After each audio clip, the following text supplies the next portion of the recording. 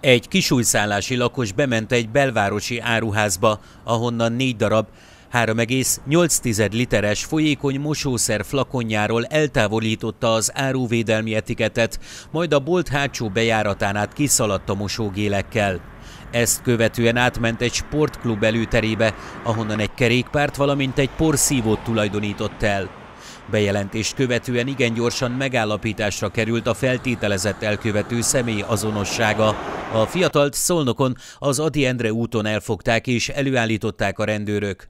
A nyomozók a fiatalkorút lopás büntet elkövetésének megalapozott gyanúja miatt hallgatták ki. Nem csak egy bűncselekmény megvalósítását rótták azonban a terhére, hiszen a gyanúsított korábban több szolnoki üzlet sérelmére követett el lopást. Volt olyan eset, amikor hét viszkiről tulajdonította el az áruvédelmi címkét, akadt olyan, amikor parfümöket vitt magával. Az édesség volt a gyengéje, összesen 110 ezer forint értékben tulajdonított el csokoládékat. A gyanúsított beismerő vallomást tett.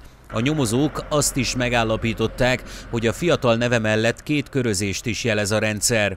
A terheltet a nyomozó hatóság őrizetbe vette, és előterjesztést tesznek letartóztatása indítványozására. A szolnoki rendőrkapitányság több rendbeli lopás bűncselekmény elkövetése miatt eljárás folytat.